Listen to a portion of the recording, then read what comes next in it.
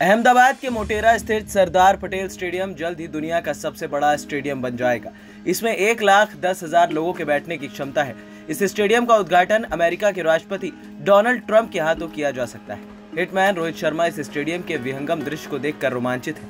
उन्होंने ट्वीट कर लिखा, आश्चर्यजनक, स्टेडियम के बारे में इतना सुनने के बाद वहाँ खेलने के लिए और इंतज़ार नहीं कर पाऊँगा। इस स्टेडियम से बीसीसीआई अध्यक्ष सौरभ गांगुली भी काफ़ी प्रभावित दिखे। गांगुली ने ट्वीट कर लिखा कि अहमदाबाद में इतना बड़ा और शानदार स्टेडियम देखकर खुशी हुई। एक खिलाड़ी कप्तान के तौर पर मैदान में मेरी यादें यहाँ से जुड़ी हैं। ईडन में हज़ारों लोगों की तादाद में देखकर मैं बड़ा हुआ। इस स्टेडियम को 24 तारीख को देखने के लिए बेसब्र हूँ। टीम इंडिया के मुख्य कोच रवि शास्त्री ने लिखा, शानदार लग रहा है। हर भारतीय क्रिकेट प्रेमी के लिए संजोने वाला पल, विश्व स्तरीय सुविधा, एक लाख दस हज़ार से अधिक लोगों की क्षमता। दरअसल, स्टेडियम का पुनर्निर्माण किया गया है। सबसे पहले ये स्टेडियम उन्नीस सौ बयासी में बना था। इसके लिए गुजरात सरकार ने पचास एकड़ ज़मीन दी थी। उन्नीस सौ तिरासी से इस स्टेडियम में अंतर्राष्ट्रीय मैचों का आयोजन किया जाने लगा।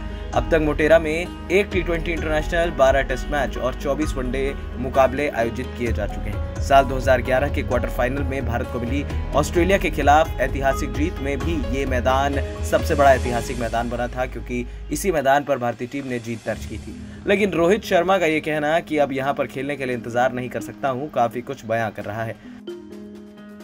एएनपी न्यूज़ रूम की रिपोर्ट।